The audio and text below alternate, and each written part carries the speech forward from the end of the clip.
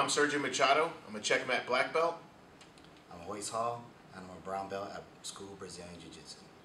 I'm going to be showing you a couple of techniques today, uh, some options that we can work from our knee to belly, from side control, and uh, setting up uh, baseball and Bravo chokes.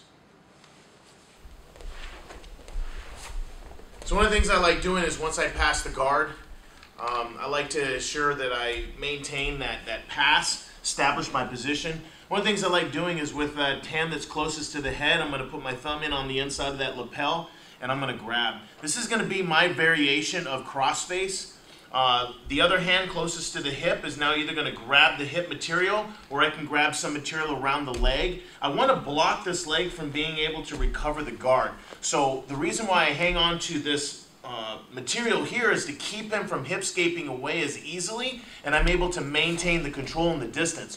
So as I'm here, I'm going to be chest to chest, knees off the ground, a lot of pressure to the chest, and I'm uh, moving my weight and I'm distributing my, my weight depending on how he's moving. At the same time, as you can see, as you can see, I'm maintaining my grips here so I can anticipate the speed of his movement as he's moving away, and I'm also blocking him from being able to recover his guard. If I'm doing anything else, this is going to be very easy for him to be able to occupy that space. Because uh, my knees are off the ground, I have a lot of space here to occupy. So I like to grab this material chest to chest, making him carry my weight. Makes it very difficult for him to be able to move. And I'm going to augment my weight by switching my hips, depending on how that control is going to work. As we're in this position, Royce is a big guy. He's strong. He's going to be able to move towards me. So I have to attack the weakest part of his body, which is his neckline.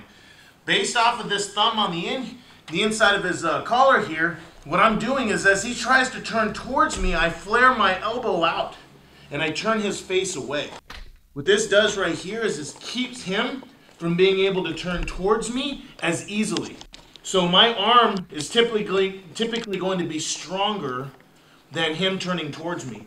So this whole side control right here is designed to slow that fight down to give me an opportunity to set up my knee to belly option.